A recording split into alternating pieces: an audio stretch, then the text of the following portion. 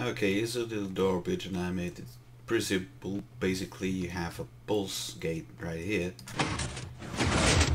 That makes it so it pulls the current to every single one of those pistons so that they update too fast to pull back the block when they are pushing.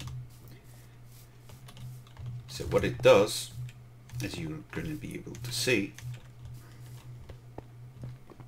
is everything here is filled with lava. You push the button and boom, a pathway. And that's how it works, folks.